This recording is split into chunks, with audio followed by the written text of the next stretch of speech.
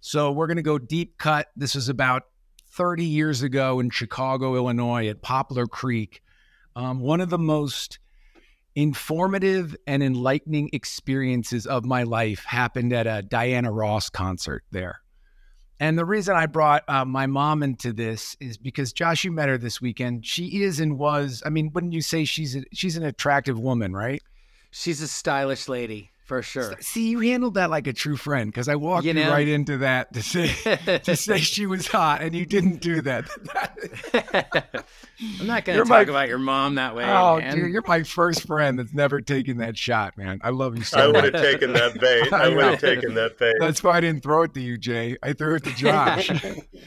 so that informs the story because um, when my mom, uh, there was a brief period, there was a period of her life where she, she had two young boys, and she uh, was in Chicago, and there was she was a lot being pursued by a lot of uh, suitors, let's say, and these men in Chicago would always try to take her on dates and invite her on trips, and she rarely, rarely said yes.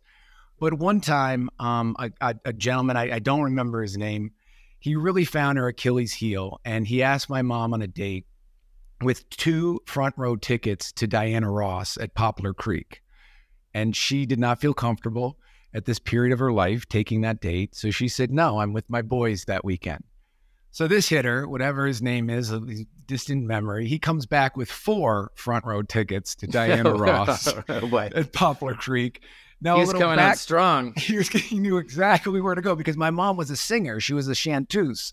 She sang um, for she opened for Bobby Short, she would sing like kind of fabulous Baker Boys style on top of pianos and lounges in Chicago. So it was, wow. she was going to take this this gentleman was going to take my mom and her two sons to this concert. I'm 13 years old, my brother's 11.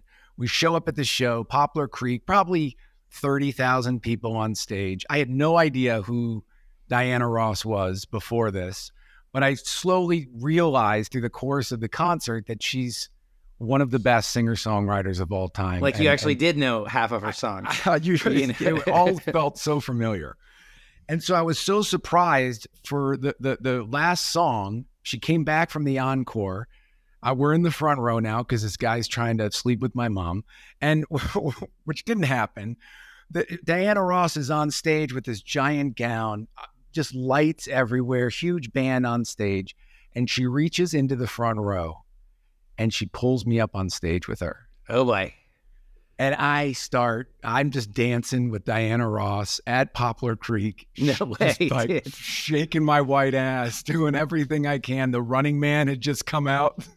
So I'm like doing the running man. And I'm like, I think I'm killing it. And she takes me to the front of the stage. And what I hear is maybe not what she said, but what I heard, she takes me to the front of the stage and she we do a bow and she says, "This kid is the future." And we take the bow. No way. And I'm Come like, on. "Holy shit, dude! Diana Ross just said that I was the future. I was." The... So I come down off the stage. I'm like on a 12 buzz. Future of what?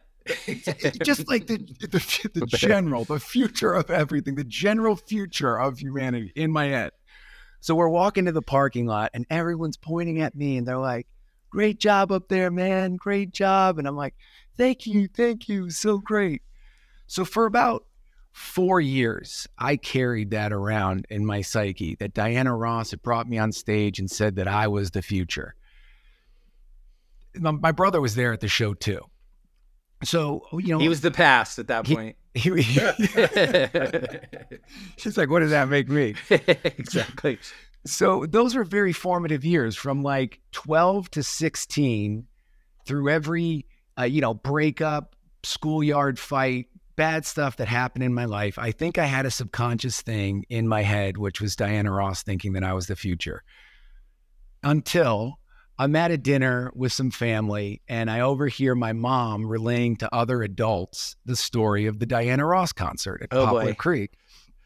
And she says, it was such an incredible night. It was so amazing. Hayes got on stage, and actually, at the end of it, she held up his hand and said, The kids are the future. The kids.